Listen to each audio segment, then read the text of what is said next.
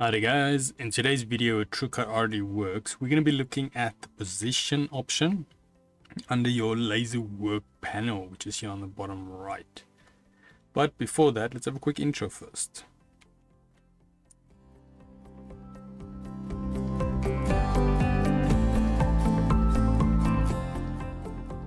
So today's video can be found on softwaretraining.co.za. We make short and easy to watch problem solving videos and we also have daily updates.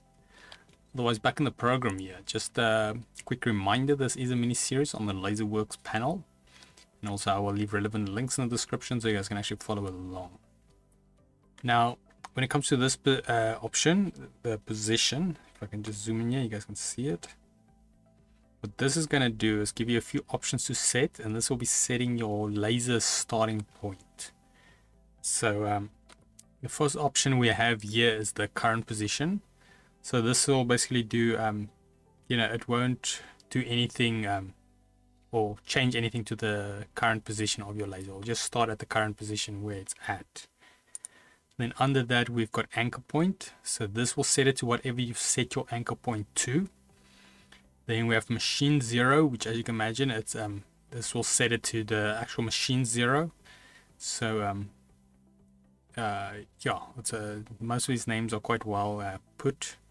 And then we've got absolute coordinate, and then what this does is um, it starts a job at the coordinate of the drawing on the computer. So yeah, so we've got basically these four to choose from.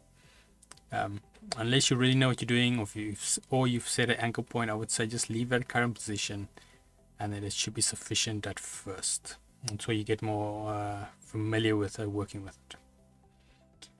Otherwise, we had to head here to softwaretraining.co.za. You guys will notice we've got a variety of different softwares we cover and also you can isolate your search in the top right. If you do not, however, find what you're looking for, just go here, request a training video, then we will make that video for you. But otherwise, thanks guys for watching and cheers.